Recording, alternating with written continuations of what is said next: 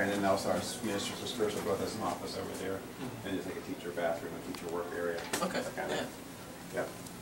And then we have a minister for worship too, that needs, so we're combined, right? Yeah. Minister for-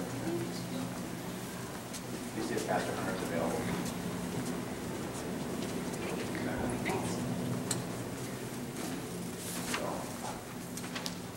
Thank you. Great school.